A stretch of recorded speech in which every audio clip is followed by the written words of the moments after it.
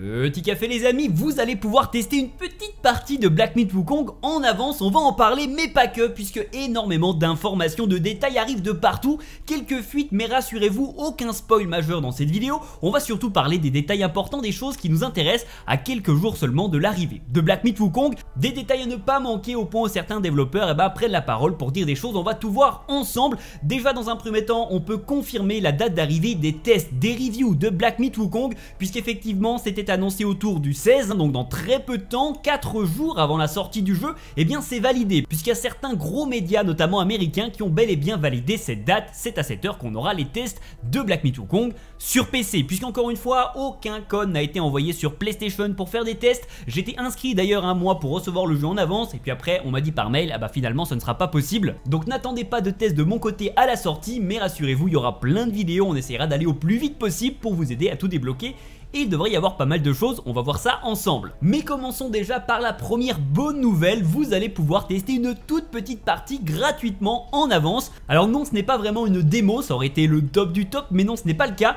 Mais les joueurs PC pourront tester notamment eh ben, les performances de leur ordinateur, puisque les développeurs ont balancé gratuitement un benchmark tool, c'est-à-dire une toute petite partie du jeu qui est là uniquement pour voir si votre PC est assez puissant et quel genre de performance vous allez pouvoir attendre sur Black Myth Wukong. Au programme, l'une des premières petites zones du jeu dans laquelle vous allez pouvoir vous déplacer librement avec une caméra. Ce n'est pas le personnage, hein, vous n'allez pas pouvoir faire du combat, mais simplement vous déplacer à gauche à droite et voir le nombre de FPS en fonction des réglages que vous allez mettre, puisque c'est bel et bien seulement pour ça qu'a été créé cet outil. Vous allez pouvoir vous préparer à l'arrivée de Black Myth Wukong si vous êtes joueur PC encore une fois, puisque bien sûr joueur console, joueur PlayStation 5, ce n'est pas disponible sur la console PlayStation 5. On en reparle dans un instant. Mais si vous êtes joueur PC, que vous avez un PC costaud, allez le télécharger, il est totalement gratuit et vous pourrez vous amuser et comme ça commencer à régler un petit peu. Bien sûr, vous pouvez tout changer, la résolution, activer le ray tracing, etc. Il y a tous les paramètres classiques que l'on peut retrouver sur le vrai jeu. En termes d'environnement, c'est vraiment une petite zone, mais c'est plutôt déjà sympa et ça peut permettre déjà de voir un petit peu ce que va proposer le jeu au tout début, puisque c'est vraiment l'une des premières zones qu'on a déjà vu d'ailleurs dans les trailers, une zone de forêt avec quelques ennemis assez classiques. D'ailleurs, certains ennemis, on peut même zoomer dessus. C'est des ennemis qui ressemblent un petit peu à des loups ou à des renards. Il y en a un autre un peu plus costaud, en tout cas, il semble un peu plus costaud, proche de l'eau avec une hallebarde. Il semblerait que ce soit un ennemi un peu plus costaud sans pour autant être un boss particulièrement puissant. Dans la zone, on peut également repérer quelques ressources. On en avait parlé dans la dernière vidéo qui parlait du contenu complet du jeu. Dans cette vidéo, on avait passé en revue énormément de transformations, d'armures, de ressources également. Effectivement, allez la voir si vous l'avez pas vu. Et eh bien, on avait vu qu'il y avait plein de ressources différentes pour crafter des choses, pour se soigner avec différents effets. Et eh bien, certaines de ces ressources seront effectivement visibles. Et il y a des petits effets lumineux pour pouvoir les repérer plus facilement. Il n'y en aura clairement pas énormément, c'est plus à gauche à droite un petit peu parsemé. Est-ce que c'est des ressources qui repousseront? Bonne question, très probablement que oui vu qu'il faudra les utiliser encore et encore, mais ça on aura l'occasion d'en reparler. Également on peut voir le niveau de détail hein, qui est plus que satisfaisant sur PC mais ça personne n'en doutait. Par contre on confirme clairement que le jeu se resserre quand même beaucoup sur des couloirs avec des murs invisibles. On va clairement retrouver en tout cas pour les premières zones c'est sûr et certain une exploration un petit peu à la Plague Tale ou encore à la Uncharted, c'est-à-dire eh ben, juste des petites zones qui partent à gauche à droite sur le chemin principal, mais bah ça ne gêne clairement pas sur Plague ou sur Uncharted, ça en fait des très bons jeux quand même, un peu orientés ligne droite, mais c'est très bien comme ça. Il en sera très probablement de même sur Black Myth Wukong. D'ailleurs, effectivement, dans ce benchmark, on peut également voir un coffre qui est posé ici, qui sera sans doute l'un des premiers coffres à récupérer. Donc clairement, tout ça annonce quand même de bonnes nouvelles pour les joueurs PC de Black Myth Wukong. Déjà, le fait que les reviews, les tests arrivent 4 jours avant la sortie, c'est plutôt une bonne nouvelle. En plus, ici, un benchmark pour tester en avant-première le jeu, etc. C'est que niveau technique, eh ben, ça devrait plutôt bien se passer sur PC. Encore une fois, je réitère mes craintes sur la version PlayStation 5 qui ne s'est jamais montrée, dont les tests eh ben, n'arriveront pas sur PlayStation 5 et volontairement le studio ne veut pas les envoyer les clés. Hein. Et donc, bah, est-ce qu'il va tourner comme il faut ce jeu sur PlayStation 5 Peut-être, mais est-ce qu'il ne sera pas terriblement bridé, beaucoup moins voli. Alors il sera moins beau que sur PC, ça bien sûr, parce que j'en avais parlé sur Twitter et certains m'ont dit, bah on s'en doute qu'il sera moins bien sur PC.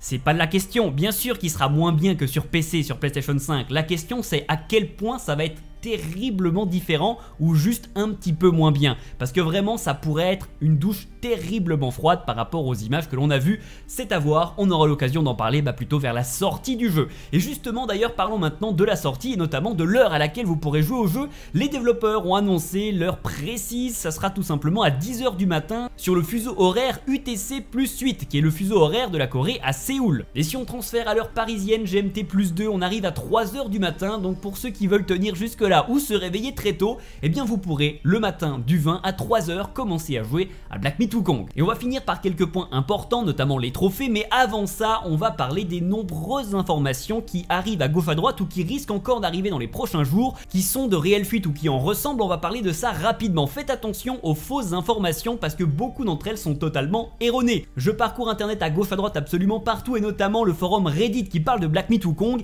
Il y a beaucoup d'informations qui arrivent, beaucoup de spoil également, donc attention si vous voulez pas vous gâcher certaines surprises et justement à ce sujet là les développeurs ont publié quelque chose, mais avant tout je voulais dire qu'il y a beaucoup d'informations qui sont totalement erronées, totalement fausses, qui sortent un petit peu de nulle part, qui ne sont pas fiables ou même qui reprennent des choses d'il y a plusieurs années pour faire genre que c'est de nouvelles images. Il y a eu pas mal de fuites qui sont en fait eh ben, des choses d'une démo qui était disponible il y a deux ans et qui font semblant d'être des choses qu'on n'avait jamais vues avant alors qu'en fait bah, c'est une ancienne version du jeu. Donc faites attention à ce qui est annoncé aux gens qui vont faire des vidéos pour expliquer des choses, tout n'est clairement pas vrai et aujourd'hui on peut pas annoncer vraiment de fuites particulièrement fiables. Par exemple, il y a une fuite chinoise qui a été publiée sur un réseau social chinois et qui parle de quelques détails mais impossible de vérifier ça. Par exemple, le jeu comporterait 15 cartes principales, donc 15 zones différentes avec à chaque fois un ou plusieurs boss pour chaque carte. Le jeu posséderait plusieurs fins qui seront liées en fonction des choix que vous allez faire avec les PNJ. Là aussi, difficile de confirmer tout ça, ce n'est pas une source fiable et je préfère sur la chaîne parler vraiment des trucs qui sont importants et fiables plutôt que de balancer des rumeurs à gauche à droite.